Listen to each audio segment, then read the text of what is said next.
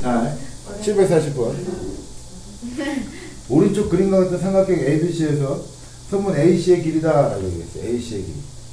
음, AC의 길이. 선생님, AC의 길이는요, 얘 곱하기 얘는요, 얘 곱하기 얘예요. 이거 쓰면 돼, 안 돼? 안 돼. 그건 직각삼각형 닮으면서 쓰는 거라고 얘기했었잖아. 그럼 직각이라고 줬어, 안 줬어? 아무것도 안 줬다 이거야. 이해가?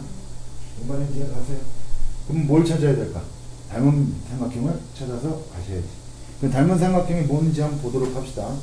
어, 일단 AC 길이를 물어봤으니까 어떤 삼각형이랑 어떤 삼각형이랑 보냐? 뭐 작은 삼각형이랑 중간 삼각형이랑 보려고는 하지 말라고 그랬지 내가. 이렇게 나눠져 있는 거야.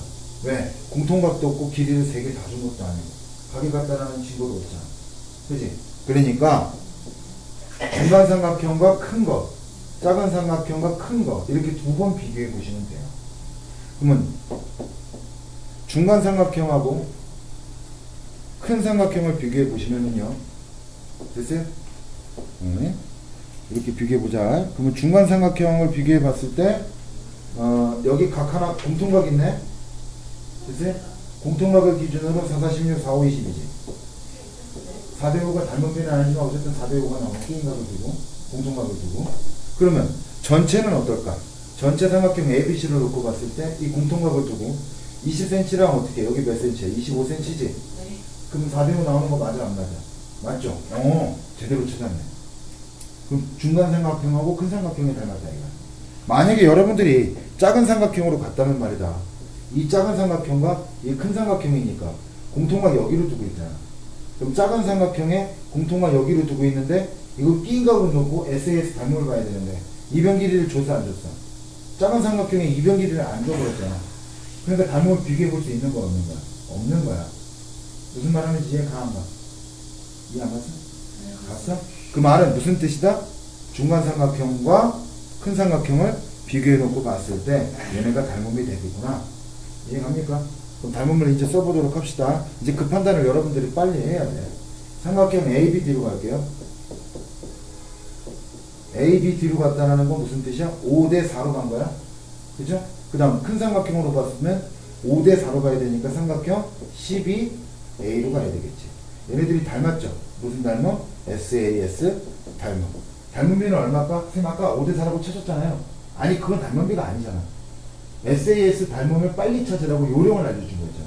이제 닮음비를 봐야지. 닮음비 봅시다. ABD 삼각형에서 AB 길이. 그니까 몇 cm예요? 20cm죠? 12 길이 줬어 안 줬어? 줘버렸지? 25cm라고 줘버렸지? 그죠? 그 닮음비 몇 되면? 이래서 4대 5가 나오는 거야. 이래서. 무슨 말 하는지 이해가? 공교롭게 아까 공통각을 두고 낀 두 면의 길이의 비가 닮은 비랑 공교롭게 우연스럽게 같을 뿐 그건 닮은 비가 아닙니다. 네. 이해 가안 가? 네. 이해 갔어요? 네. 그럼 4대 5는 A씨 길이 물어봤으니까 A씨 길이라고 한다면 뭘 얘기하는 겁니까?